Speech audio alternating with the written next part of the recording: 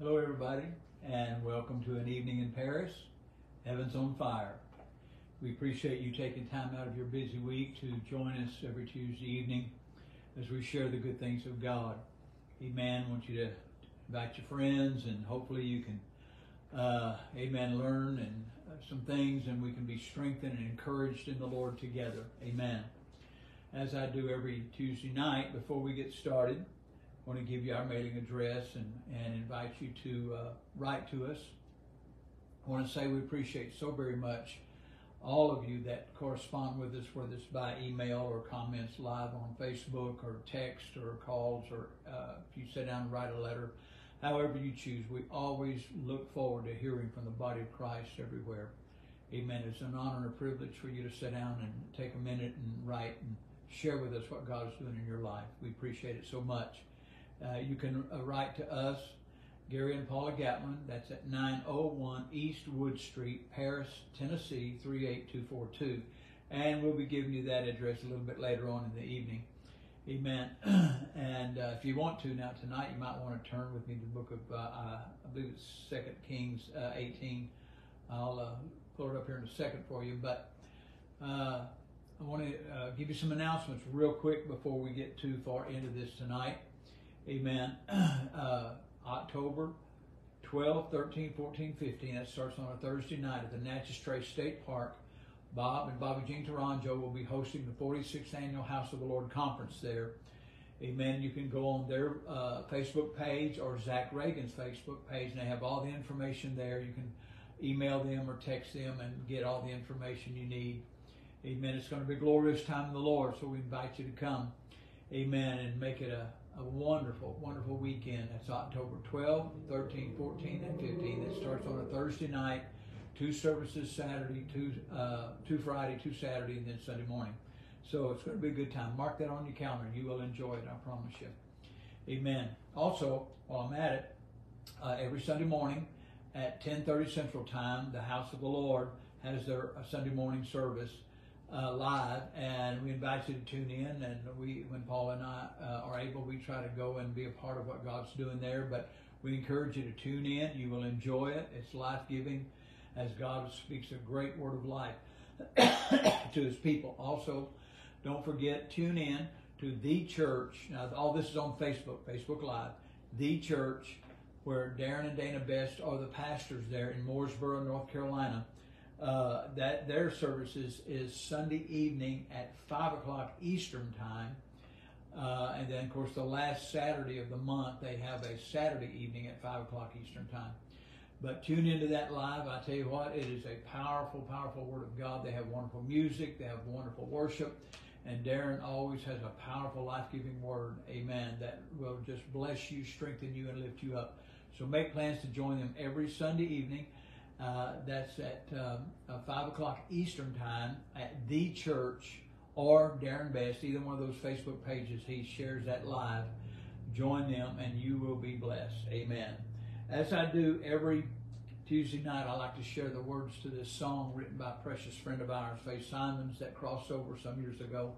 Uh, she was from Cross Plains, Texas, and God gave her the words to this song. And it is such a beautiful song, and as far as I'm concerned, at this point in, in my life, uh, this is what God is speaking, at least to me and so very many people that I know. Our heavens are on fire as He changes our relationship with Him, as He expands and broadens and changes everything. And it's so necessary that we hear a current life giving word from the Lord. And uh, and I know so many of you, they've heard us sing it before at the meetings and so forth, and you no doubt know it uh, better than I do, but I like to read it and start off the broadcast on Tuesday nights with it. So it says, Heaven's on fire, destruction, it seems, earthquakes and shakings and broken dreams.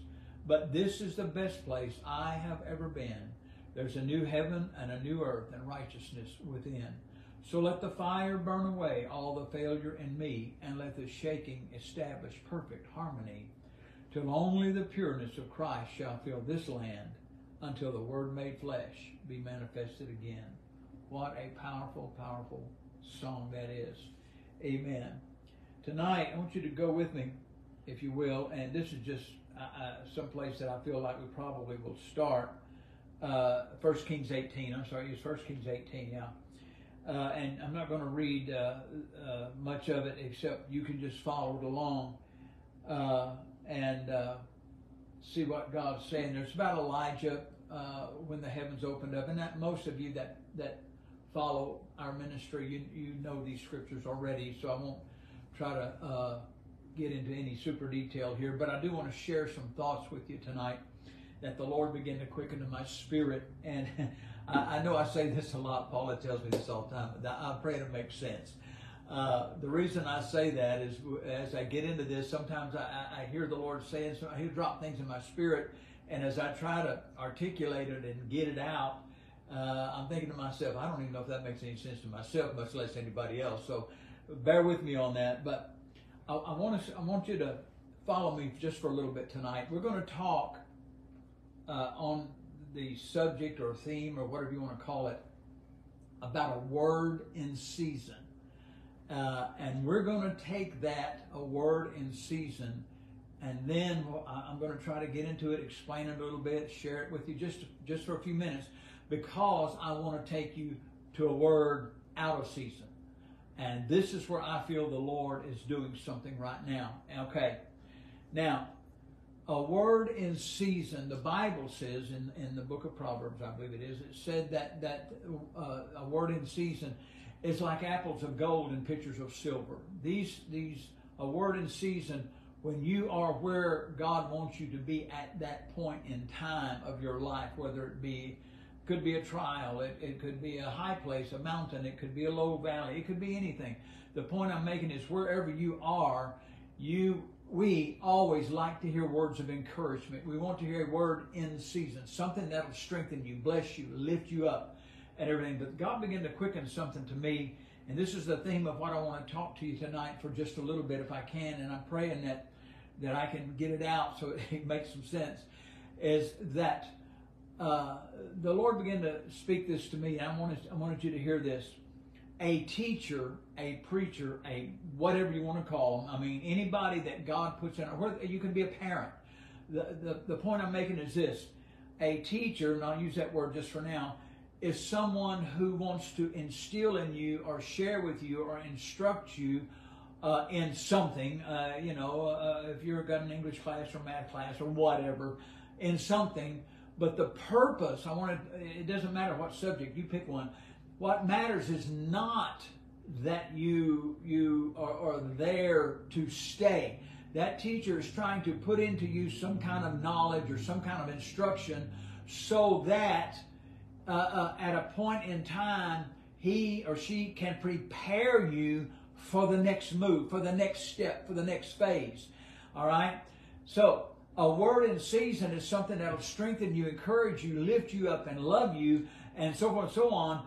But there comes a point in that time when that, that word has to settle in you to the point that you are prepared to make a transition. Okay, now I want to show you something. The Lord began to show me this right here. And so you, you just, I, am praying that, that uh, I can get this out. The Lord spoke this in the book of Exodus, and, and real quick, I got to get through this to save some time. The Lord spoke that, that uh, the children of Israel come out of Egypt. They, Moses had been sent ahead of them to prepare them. First Joseph was sent ahead, then Moses was sent ahead meaning in, into the wilderness for 40 years. He goes back, he gets the children of Israel, brings them out. They wander for 40 years. now, God, God took care of them. He, he gave them manna. He gave them quail. Their clothes didn't wear out. On and on and on and on and on. We could go on. That was the word, or, or if you please, a time of the word of the Lord in season for them. It kept them in their time. It kept them. But it did not prepare them for what was to come. Moses could not do that. How do you know that? Okay, watch this. The Bible said after they immediately came out of Egypt, they were just there a few days, they got thirsty. And they said, we, What'd you do, Moses? Bring us about out here to kill us, you know. And, and, the Bible said, Moses, you know, he was all upset and everything towards the Lord. And the Lord says, Well, you smite the rock. The water comes out, their thirst is quenched, and God says, Okay, because of their murmuring and complaining and their lack of trust in me, and et cetera, et cetera, I'm, they're going to die in the wilderness, but Moses, I'm going to raise you up a generation that never knew Egypt, and you're going to take them into a place. All right, now watch this. A day or so later, the same people got the same problem, with Moses in the, the same guy in the leadership. Okay, everything is the same. But it was a different day. And the different day brought a different sound, a different word. This is, ladies and gentlemen, where we are, and I want us to hear this. We are in a time of change right now. We are in a time where there is a fresh new sound coming from heavens, the very throne room of God.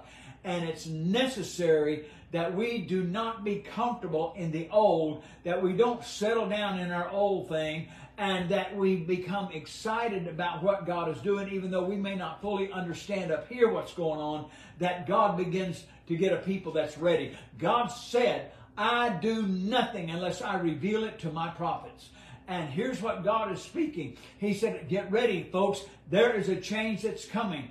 Now, watch this. There, and when I say this, there are those that, that God is speaking to right now, and even as I'm talking, there's a witness right deep inside of you right now that's saying, Yea and Amen. Something is on the horizon. We're about to make a transition. We know the story. Moses did not hear, he did not heed the sound of the, he heard the sound, but he didn't walk in it. He didn't follow in it. And he reverted to that which he was comfortable, and that's smiting the rock. And, he, and because of that, he lost his inheritance. Now, I want to I want to go a little further here because I want to show you something. Uh, uh, all through the scriptures, there was a word in season giving given to God's people, God's men and women throughout the, the scriptures, throughout the chapters and the books of the Bible. But hidden in those moves, in those chapters, there was a word out of season, or if you please, something that was designed to prepare for the next place. Uh, I want us to understand that. Amen. When, when a farmer goes out and he's, he plows the field, he's preparing for that harvest or for that, that, that planting. And he plants and he sows and he fertilizes and he waters and he does. Those are words in season that's needed for that. But in the heart of that farmer, in the heart of that person, uh, uh, uh, even though his corn or, or, wheat or whatever it is is growing up and is beautiful, in his heart, he's already uh, looking towards the harvest and beyond that to prepare for that which is to come. Uh, he just cannot keep doing the same thing over and over and over again, expecting anything to change. And this is where uh, we, we get all screwed up. Now, what's this? I want to take you real quick amen, to, to 1 Kings, the 18th chapter, the story of Elijah. Elijah comes out of nowhere. And he shows up on the scene and immediately goes to the king and he said, uh, the heavens are sealed, they're closed, it's not going to rain until I say so. Then he leaves and we know the story. He goes and he gets by the brook Cherith and then he goes to the widow woman's house and he, he goes all these places and uh, uh there's no rain, there's no nothing. And, and, God, uh, if you please, and watch this, all through there as Elijah, I'll, I'll, back, I'll break this down real slow. As, as Elijah is down by the brook Cherith, and, I, and a lot of people call it Cherith, but it's Cherith. And because of that, that, that, that, that, the raven is feeding him. He's drinking from the brook. That's his word in season. It's something that is sustaining him, but it is not yet coming as far as he knows. All he knows is this is what's here. God says in order to move him, God has to drive the brook. This is where some of us have been. God has to drive your brook and stop the ravens from coming in order for you to even get out of your comfort zone. I know I'm jumping ahead here, but I'm praying this is making some sense. So here he goes. He goes down to the widow woman's house. We know the story there. Uh, and then there's such a famine, there is such a hardship because the heavens are sealed. And this is where we have been, ladies and gentlemen. The heavens have been sealed for a time and a season, and it's been in a hard, dry place. And people are getting worried and they're getting frustrated as they look around about us at the world right now the crazy politicians all over the world of every stripe and all the mess that's going on everywhere. Churches are giving nothing but false hope and promises. Uh, uh, uh, uh, preachers are trying to reap money unto themselves. They're trying to reap glory unto themselves and do their own thing and, and raise their ministries and on and on and on.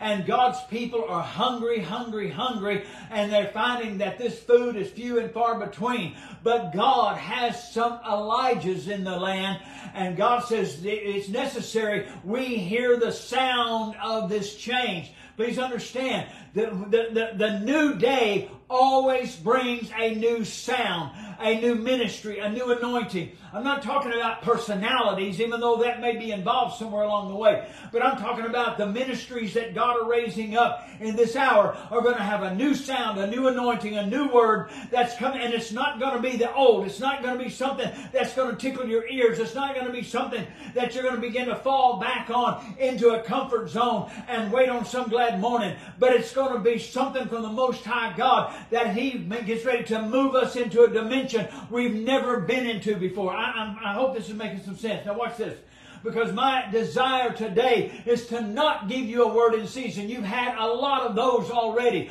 I'm trying to open your understanding and anoint your eyes and ears to see and know some things beyond your understanding, beyond where you are, to realize there's something, amen, that God is dropping in the midst of His chosen generation, this royal priesthood. And He's saying, get ready. There's about to be a change, and you're not going to be changed if you stay back to the old, if you keep smiting the rock, if you just keep doing the same old, same old. There's some things that must change. Now, watch this.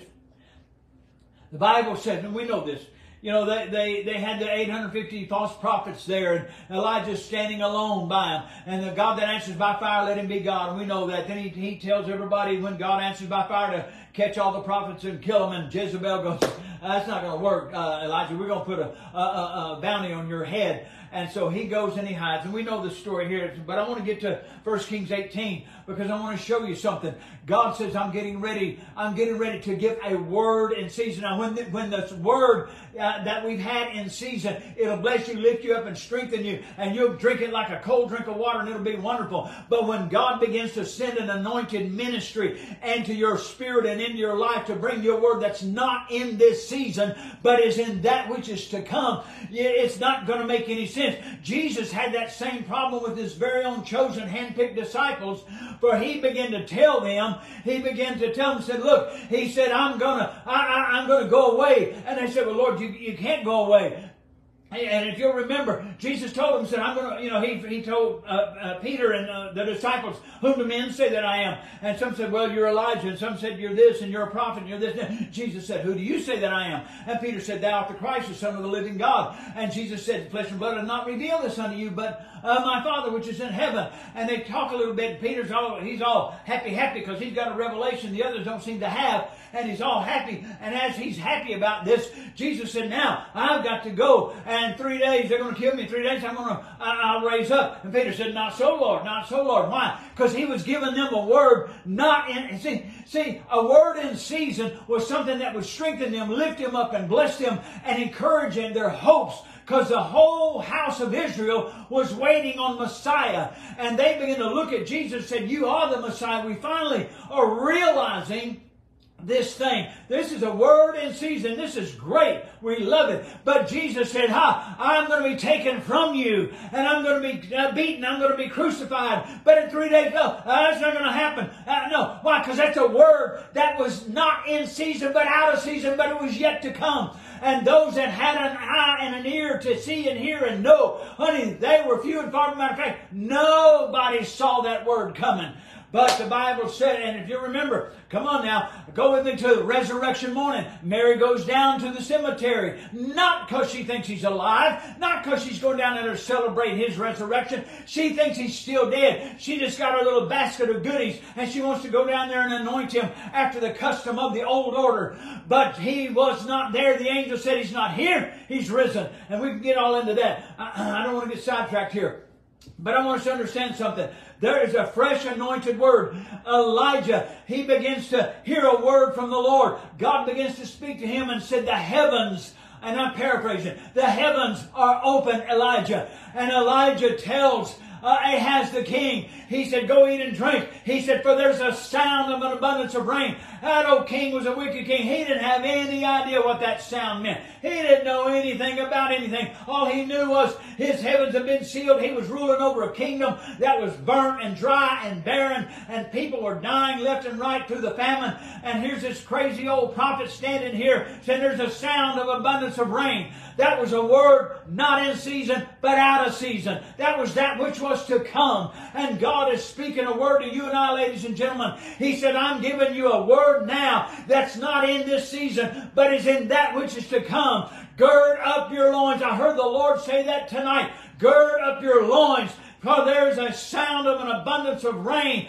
and you need to understand, amen, if you stay in only the season you're in, nothing ever changes. But we are in a season of change, and God said, I'm raising up men and women, prophets, that are saying, Get ready, get ready. I'm about to move you and boost you into a new dimension.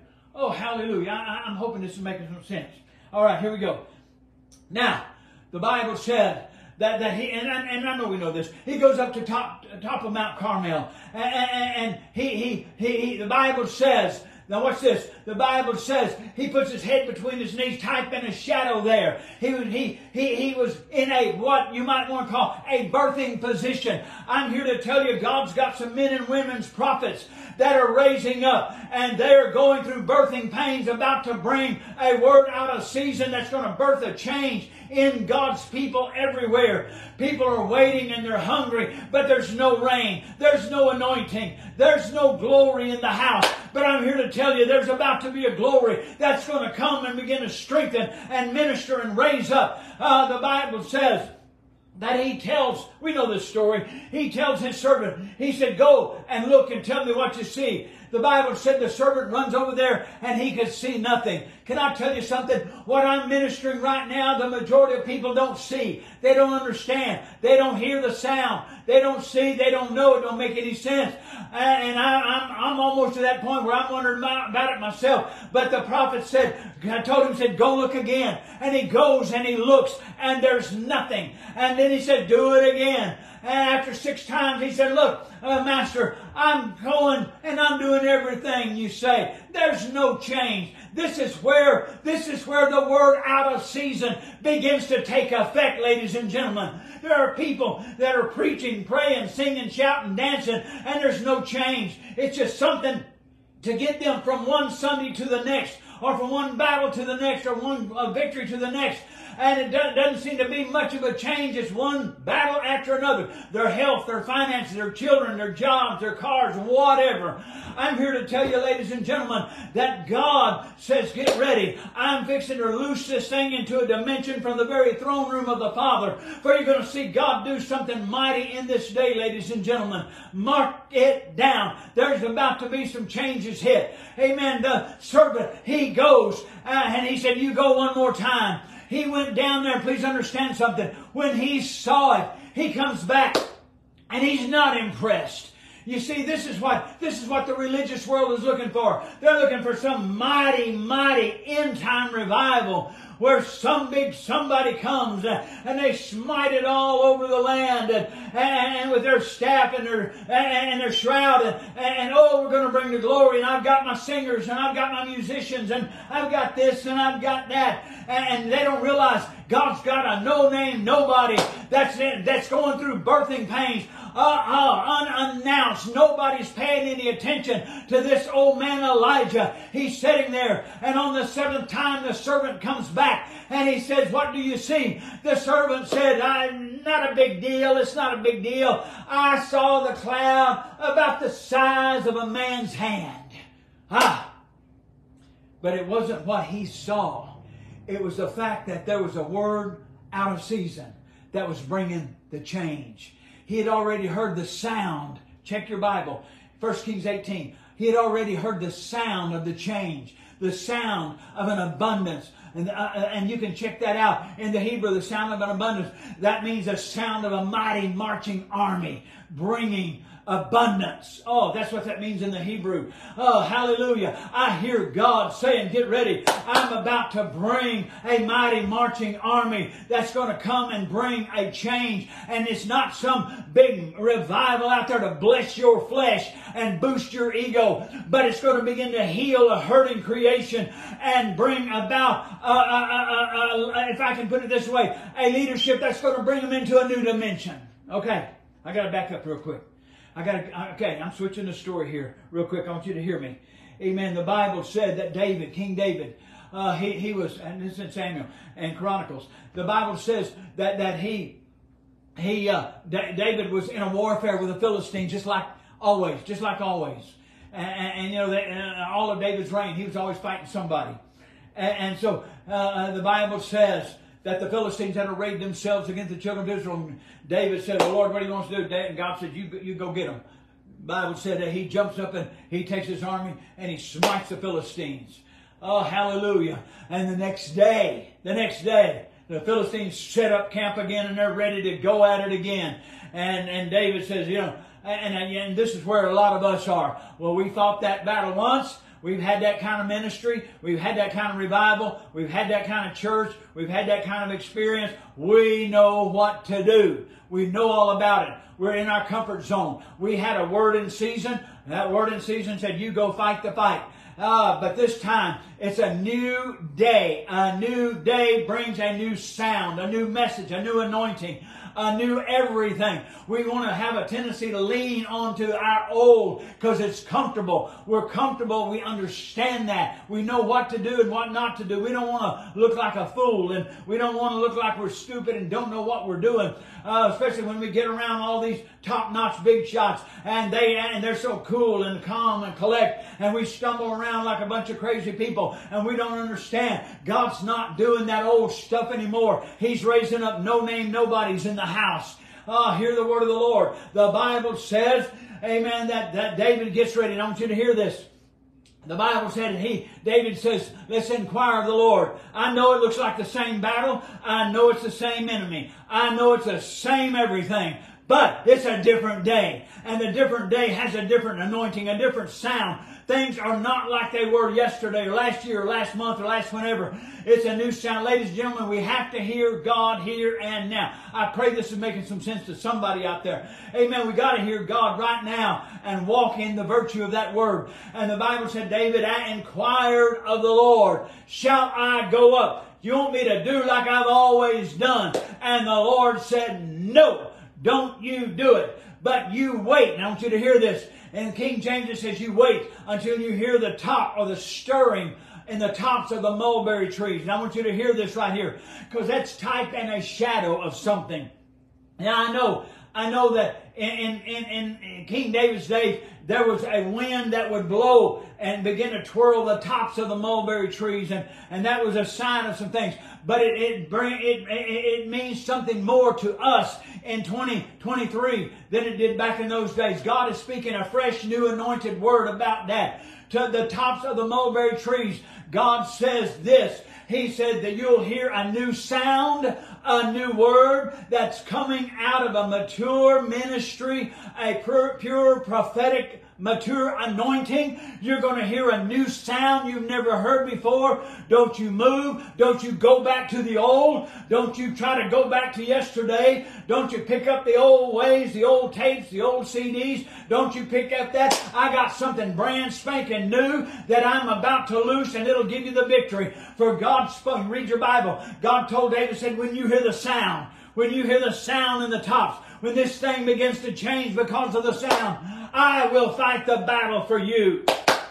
God says, get ready because I'm about to do something fresh and new in this day like you've never heard before. There's a new sound, a new anointing, a new word. Oh, hallelujah. I'm not talking about something that'll bless your flesh. I'm not talking about something that'll puff up your ego. I'm talking about something that says stand still. Uh, there's a new word that's coming out of a mature anointed ministry. And when I say ministry, I'm not just talking preachers even though they'll be involved. I'm talking about we've got men and women that will never stand behind a pulpit, uh, that are ministries, that are leadership. And God says, I'm putting a fresh word. How do you know this word? How will you recognize this word? It's not something you're going to analyze up here and say, that sounds, I like that, or I don't like that, or I heard that 40 years ago. Da da da da da. No, this is something that resonates in here. You can't turn it off. You can't make it null and void. You can't say, I don't like it, uh, because it'll be there. Your mind might say, I don't really appreciate that. It makes me uncomfortable. But your spirit says, yea and amen. For a hurting creation demands that we take our place and hear the word of the Lord in a new and anointed way in this day that we're in. Wow. I pray that this is making some sense to somebody. Oh, hallelujah. Uh, you know, my mind begins to go. You know, Jesus chose 12. He chose 12. Now, real quick, I, I just, this stuff just coming to me. I don't even know what to do with it. I'm going to throw it out there and you do what you want to with it. Jesus chose 12. He chose 12. Uh, one of them was Judas, and we know that, that uh, what happened there. Uh, and, they all had great ministries. And, and one of these days, I'll get into it with you the history of where they went, how they died, how they ministered, and all that stuff. And they all had wonderful, wonderful things that went on. And you can read about Matthew, Mark, Luke, and John, and Paul, and I don't know the rest of them all through there, you know, Jude and all those guys. I mean, we'll get into it someday. That's not what I'm trying to say right now. What I'm trying to say is this Paul was not one of the chosen ones of the twelve. He sat at the feet of Gamaliel and he went a different way.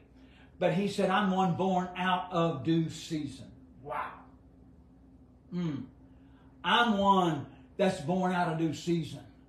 Oh, hallelujah. And, and, and what's this? And he said, I knew a man above 14 years ago, whether in the body or out, I don't know. But I knew a man above 14 years ago that was caught up to the third heaven and he and he heard, heard a new sound. I heard something. I heard a new sound. Oh, I heard a new sound.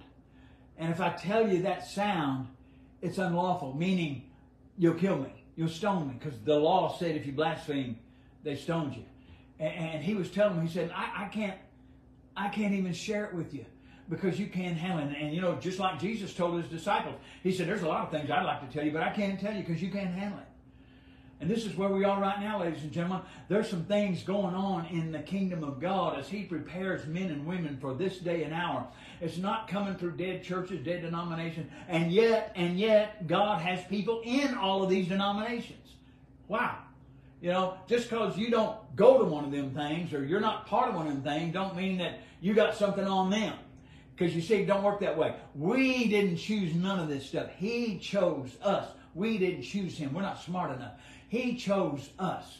Now, having said that, God's got men and women everywhere, all over the world, every denomination. And some of them, uh, right now, right now, under the sound of my voice, there may be some that don't even know or care about anything godly.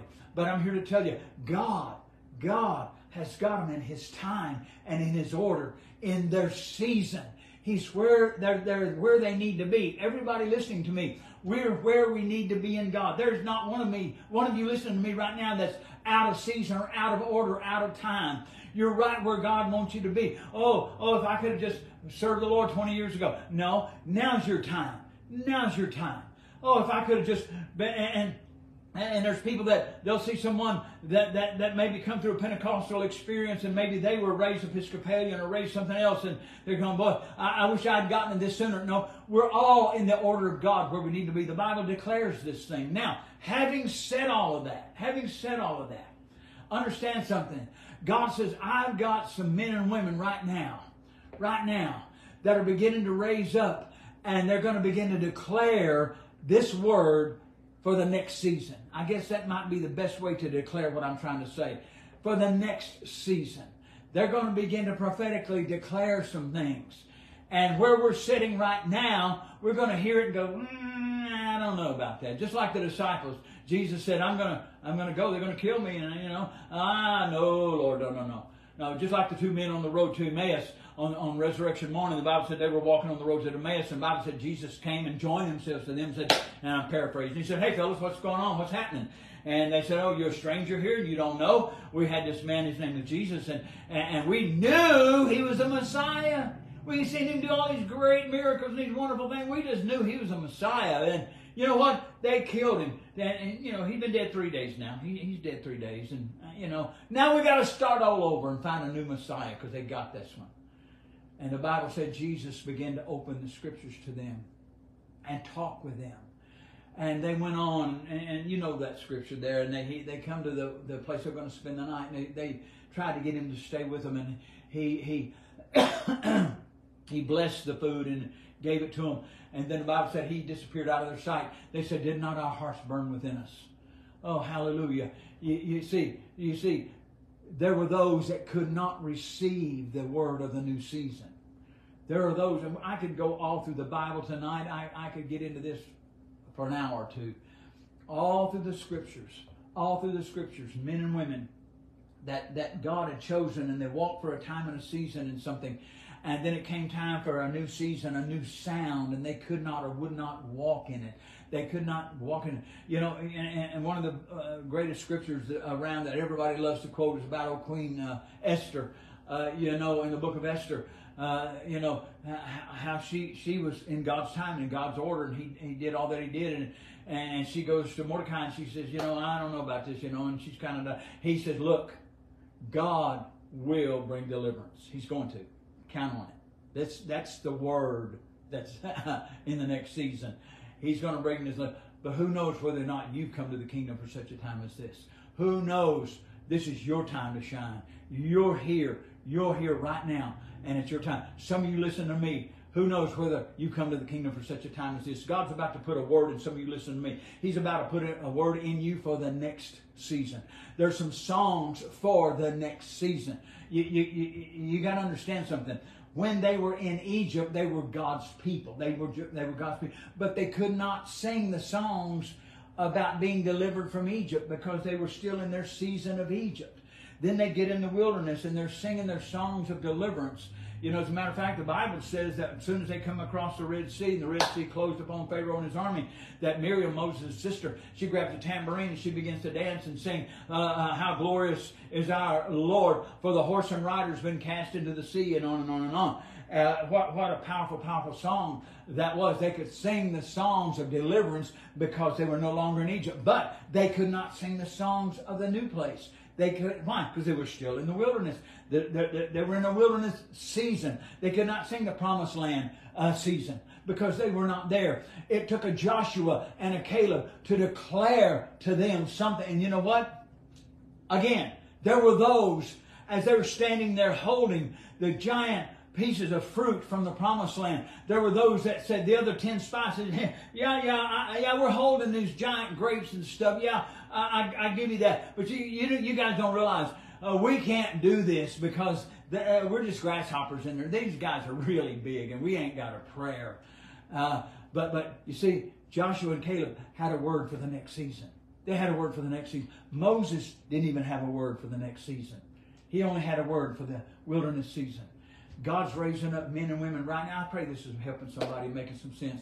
God's getting ready to declare some things where you are in your season, not where you are to stay where you are. See, see, you went through the first grade, second grade, third grade, whatever. You went through whatever grade you did, not so you could stay in that grade. You went through it for a processing and a learning so you could go to the next season or the next grade. So it is in the plan of God. We are where we've been. We've been in our time of season. We've been in our time of learning, our time of hardship, our time of trying and testing. We've been in these things. But God said it's not forever. I'm raising up men and women that are going to give you the next season. They're going to give you a word for the next season. Oh, hallelujah. We're going to show you the grapes of the next season so that you can walk into the fullness of this thing. Oh, hallelujah. Well, I pray that tonight has been a blessing. I'm going to leave that right there for you. I trust that you've been encouraged that this thing is about to change. Mark my word, it is about to change in the heavens as God begins to say, Gird up your loins, it's time to run. It's time to run. Oh, hallelujah. My, my, my. Some of us have been getting, you know, and I got to be honest with you, the older you get, the more you want to be comfortable. you want to kind of relax a little bit. But God said it's time to run. Gird up your loins. This thing's not over yet. We're just getting started. Amen. I got to quit. All right, watch this? Don't forget, don't forget October 12, 13, 14, 15, Natchez Trace State Park. Go to the House of the Lord uh, Facebook page or Bob Toronjo or Zach Reagan and get their uh, information for the Natchez Trace State Park, the 46th annual House of the Lord Conference, October 12, 13, 14, 15. It starts on a Thursday night. It's going to be a great time in God. You're going to enjoy it. I promise you, you will enjoy it. Make plans to be there. Also, 10:30 every Sunday morning, Central Time the House of the Lord on the Facebook live. It's going to be a wonderful, wonderful time in God. Uh, so make plans to join them. Also, uh, the church, Mooresboro, uh, North Carolina, Darren and Dana Best are the pastors there every Sunday evening at 5 o'clock Eastern Time. They have a, a, a, a service live And uh, then I think every, the last Saturday of the month, if I'm not mistaken, you can go on their Facebook page and read all this stuff. But the last Saturday of the of the month, they have a Saturday evening service at five o'clock Eastern time, and they serve a meal. But you make plans to join them, be with them. Also, let me encourage you. Uh, uh, a friend of mine up in New Castle, Pennsylvania, uh, Dr. Mark and Jill Kaufman, they have Jubilee International Ministries. They have, and you have to go on a Sunday morning, uh, check those out. I'm not sure the times there, but I've been blessed to go and, and on their uh, uh, live uh, Facebook page, and they have a wonderful worship and great word. Uh, go there, and they, these. I'm just promoting some of these because you can be strengthened, you can be lifted up and encouraged in all these various ministries. So remember those things there. Do what? My, my wife's hollering. Okay. Oh, Bobby Jean. Bobby Jean Toronjo, Thursday night, Facebook, uh, 6 o'clock Central Time. Amen. Tune in for Bobby Jean Toronjo uh, and her teaching. You will be blessed. These are just some things I'm giving you so you'll be encouraged, you'll be strengthened. Amen. You're not in this thing by yourself. You don't have to do without. You're right here in the middle of all that God's doing. Also, we want to thank you for joining us every Tuesday night. And thank you for those of you that write to us, whether it, it might be something, a comment on Facebook or, uh, or, an email or a text or a phone call, or uh, uh, you might sit down and write us a letter. Uh, there are those that share with us an offering or PayPal or whatever, and we so, so appreciate every last one of you. We use these the finances here to bless the ministry. We believe in passing it forward and blessing the people of God. Amen. Uh, so we appreciate all of you. Thank you for joining us. You can write to us at Gary and Paula Gatlin, 901 East Wood Street, and that is in Paris, Tennessee, 38242. We love you, and again, thank you so much for joining us. We appreciate every one of you. God bless you. We will see you next Tuesday. Bye bye.